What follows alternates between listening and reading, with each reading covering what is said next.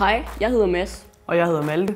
Vi har sammen stiftet og udviklet webshoppen smarthave.dk.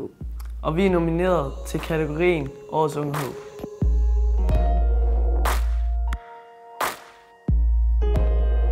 Smarthave.dk er en webshop, som sælger smarte haver for brandet Click and Grow.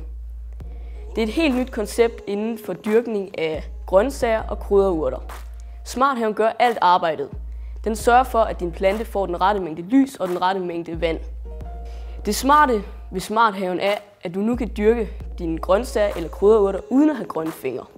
Du behøver heller ikke at spekulere på, om din plante får for meget vand, eller for lidt vand, eller for meget lys, eller for lidt lys. Når vi sidder og laver business, så kan vi aldrig rigtig få nok af det. Og vi bliver nok heller aldrig træt af det. Det kan vi vist begge to blive enige om. Som alle iværksættere nok gør, så drømmer vi om at få succes. Og det er også det, vi stræber efter.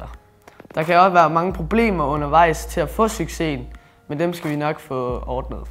Hvis vi skulle give et godt råd til andre unge iværksættere, så skulle det nok være, at de skulle få dannet et netværk, som de altid kan spørge, når de har problemer.